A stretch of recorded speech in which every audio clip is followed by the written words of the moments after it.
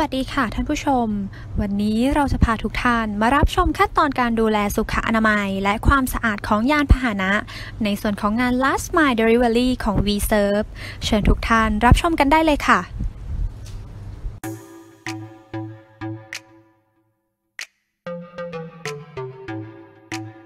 1. พนักงานขับรถทำการฉีดพ่นยาฆ่าเชื้อรถบรรทุกก่อนออกปฏิบัติงานทุกครั้ง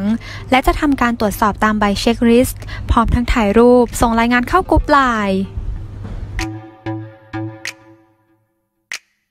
2. พนักงานขับรถทำความสะอาดภายในห้องขับขี่ มือจับในตัวรถ พวงมาลัย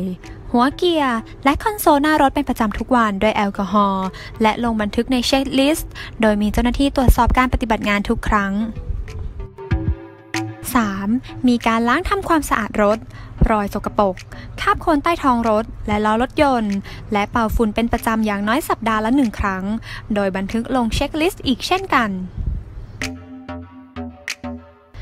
4. ทางพนักงานขับรถจะไม่รับบุคคลภายนอกโดยสารขึ้นรถ และไม่จอดรถนอกจุดกำหนดในระหว่างเดินทางส่งสินค้า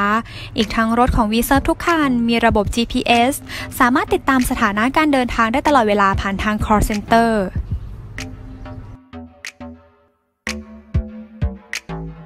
ดังนั้นลูกค้าสามารถมั่นใจในการให้บริการของ VServe ได้เลยนะคะ เรารับรองว่าสินค้าของท่านจะได้รับการดูแลและความปลอดภัยตลอดการขนส่งแน่นอนค่ะ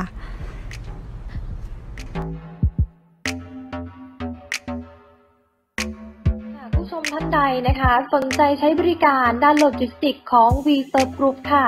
สามารถเข้าชมรายละเอียดเพิ่มเติมได้ที่ www v s e r v e logistics com นะคะ และเพื่อไม่ให้พลาดสาระน่ารู้เกี่ยวกับโลจิสติกกับเรา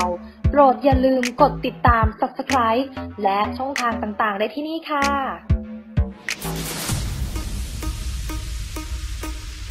อย่าลืมกดติดตาม Subscribe กดกระดิ่งไลค์เพื่อไม่ให้พลาดสาระน่ารู้เกี่ยวกับโลจิสติกของเราได้ที่นี่